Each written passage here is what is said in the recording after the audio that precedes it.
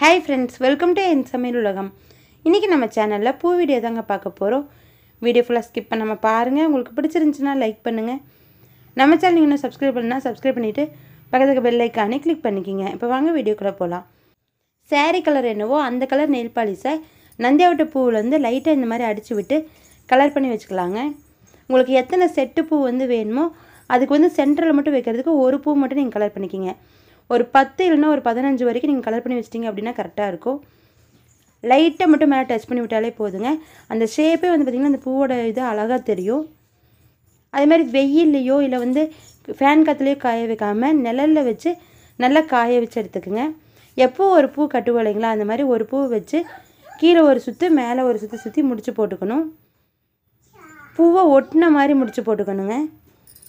இப்போ அடுத்ததுக்கு மேலே வந்து ஒரு பூவை வச்சுட்டு வலது பக்கத்துலேருந்து இடது பக்கமாக ஒரு சுற்றி சுற்றிடுறேன் அதை ஒட்டி நெருக்கியே வச்சுட்டு இன்னொரு பூவையும் வச்சு சுற்றிடலாம் இதே மாதிரியே நெருக்கமாக வச்சு சுற்றிட்டே வரணும்.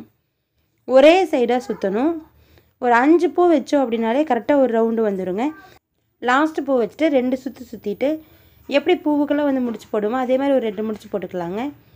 கொஞ்சமாக நூல் விட்டுருந்தோம் அப்படின்னா அதையும் இந்த நூல் கண்ணுக்கிற நூலையும் சேர்த்து இந்த மாதிரி ரெண்டு முடிச்சு போட்டு டைட் பண்ணிக்கலாம். அவ்வளோதாங்க நம்மளுடைய செட்டு பூ வந்து ரெடி ஆயிடுச்சு. இதே மாதிரி உங்களுக்கு எந்த அளவுக்கு நீளம் வேணுமோ ஒரு பத்து பதினஞ்சு செட்டு வந்து ரெடி பண்ணி வச்சுக்கோங்க.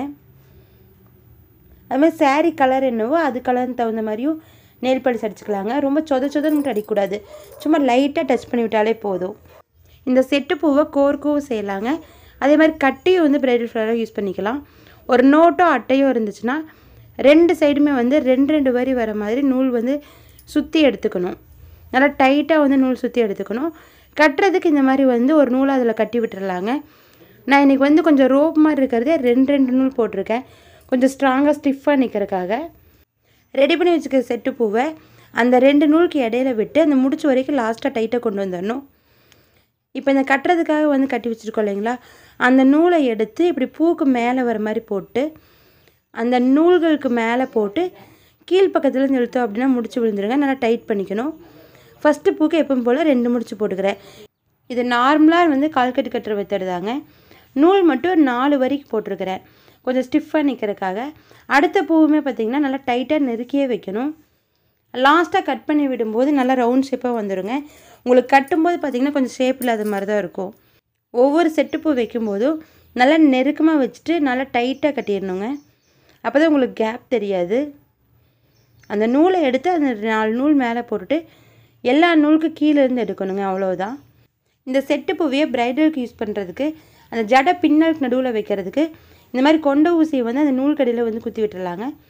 இந்த மாதிரி எல்லா செட்லேயும் நீங்கள் பின் பண்ணி வச்சிட்டிங்க அப்படின்னா அந்த ஜடைக்கு நடுவில் பின்னலுக்கு நடுவில் வைக்கிறதுக்கு அந்த பின்னை மட்டும் குத்தி விட்டால் போதுங்க. அப்படி அழகாக வந்து அந்த பின்னலுக்கு நடுவில் நிற்கும் இந்த மாதிரி கட்டி வந்து நீங்கள் ஜடையை சுற்றி வர அந்த கொண்டை சுற்றி வச்சுக்கலாங்க. இப்போ லாஸ்ட்டு பூக்கு ரெண்டு முடிச்சு போட்டு கட் பண்ணிட்டேன். கட் பண்ணுறது அதே மாதிரியே பின்னாடி பக்கம் சென்டரில் கட் பண்ணிங்க அப்படின்னா ரெண்டு சைடும் ஒரே மாதிரி வந்து நூல் வருங்க.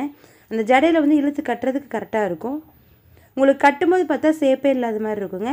ஆனால் கட்டி முடிச்சுட்டு நீங்கள் இந்த மாதிரி விரித்து விட்டீங்க அப்படின்னா நல்லா அழகாக அந்த ரவுண்ட் ஷேப் வந்துடும் நல்லா கேப் இல்லாமல் நெருக்கமாகவே வருங்க. லைட்டாக அட்ஜஸ்ட்மெண்ட்டு பண்ணி விட்டுக்கணும். ரொம்ப டிஃப்ரெண்ட்டாக ரொம்ப அழகாக இருக்குங்க.